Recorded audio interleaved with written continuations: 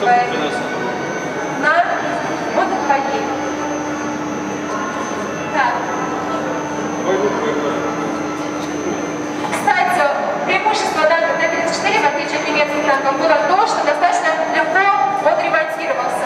Э, Безусловно, очень много было таких э, подростков, юношей, девушек, которые организовывали подпольную деятельность, диверсионную деятельность, расклеивали антифашистские листовки и всячески вредили оккупантам.